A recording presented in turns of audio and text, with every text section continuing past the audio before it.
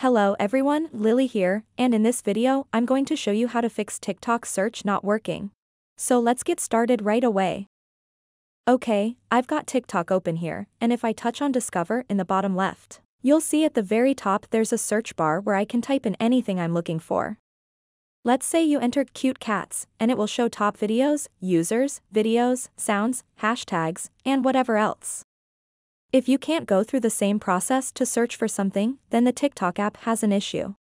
You could try closing the app and opening it up again. You can also try logging out of your account to see if that resolves the issue. To do that, just go back from here and simply tap on the profile icon in the bottom right corner. Then the three lines in the top right corner, and then select Settings and Privacy.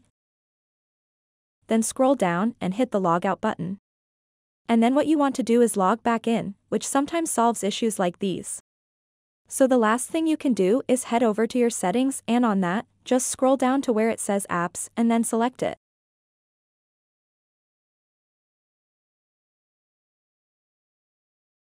Then what you want to do is search for TikTok at the top of the search bar and select it. After that, force stop the app and then go to storage and clear your app data. This will not affect your actual TikTok account, but it will delete your drafts and all of your files, so be aware of that. So once that's done, go ahead and open up your TikTok app and you'll be able to use the search tool to find whatever you're looking for on TikTok.